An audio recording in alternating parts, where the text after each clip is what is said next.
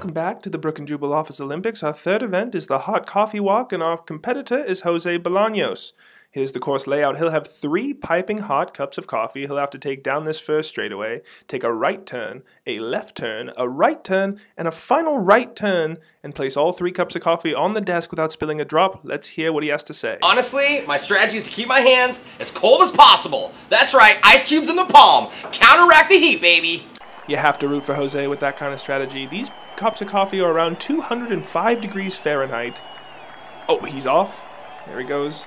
Like I said, 205 degrees. These are hot, hot cups of coffee. And there's someone on the course right away. It doesn't bother Jose. He's unfazed, looking dead ahead, keeping those palms cool. You have to wonder if his strategy works. There he goes. The tiptoeing, tiptoeing, tiptoeing. He's coming up to the first right turn, and he's nailed it. The second, the left turn.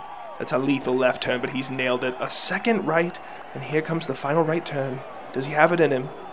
Oh, a little showboating, a spin move from Jose. He almost lost the coffee there. My word, that was close. He's just got to finish up the home stretch here. He's got to place it on the desk and walk away. Here we go. The dismount. Yes, he's got it. No! Disaster has struck. That's going to be it for Jose. You hate to see someone's Olympic dream end that way. Coffee all down the shirt. That will be an automatic disqualification.